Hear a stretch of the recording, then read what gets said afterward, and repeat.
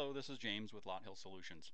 Today I'm going to show you how to configure the Digital Persona U.are.U 4500 fingerprint scanner as well as enroll fingerprints to be used with a specific employee to clock in and clock out. First let's go ahead and sign in to TimeDrop. The default username is manager and the password is password. Once we're at the home screen go ahead and click on manage system options select the Terminal tab, and then under Scanner Type, select DigitalPersona. Once that's selected, you'll see a list of options here. Require use of scanner for clock in out. That will make sure that the employee cannot clock in with username and password. They will be required to use their fingerprint to clock in and clock out. Uh, that's good to control buddy punching, things like that. So uh, if somebody gives out their username and password to a friend, doesn't matter. They're not here. They don't have that fingerprint. They can't clock their friend in. So um, that's one thing to keep in mind for that option. The other is to allow the scanner to run in the background.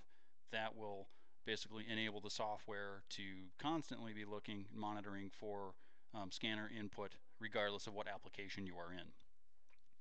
Uh, so if you're working in Excel or if you're working in a different application and you use the fingerprint scanner, it's going to clock you in and clock you out, regardless of focus on TimeDrop. So um, the select scanner drop down, this is where you'll select your scanner. Once you have your scanner plugged in, um, you should see a blue light on top of um, the scanner. Should be just blue.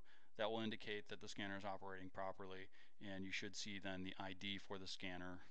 If you have more than one plugged in, you may see more listed here, but this is the not necessarily your ID. This is the ID of the scanner that I have.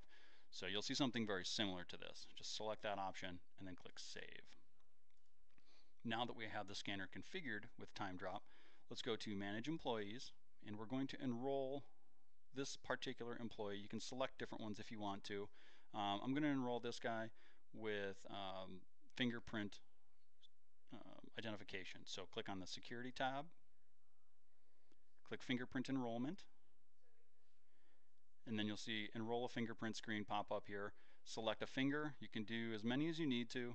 Um, if you use any of those fingers, it will identify it with that particular profile and clock that person in or out. So when you click on that option or click that finger, you'll see it highlighted here in green.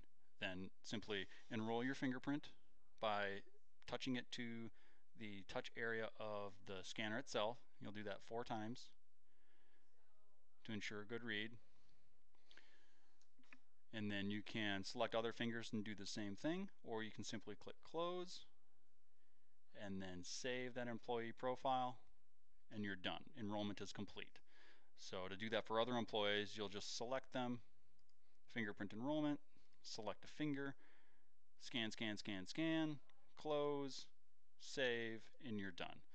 Um, once you've enrolled all your employees with the scanner, uh, with the scanner, go ahead and just test it out one time. Click on the clock in or clock out.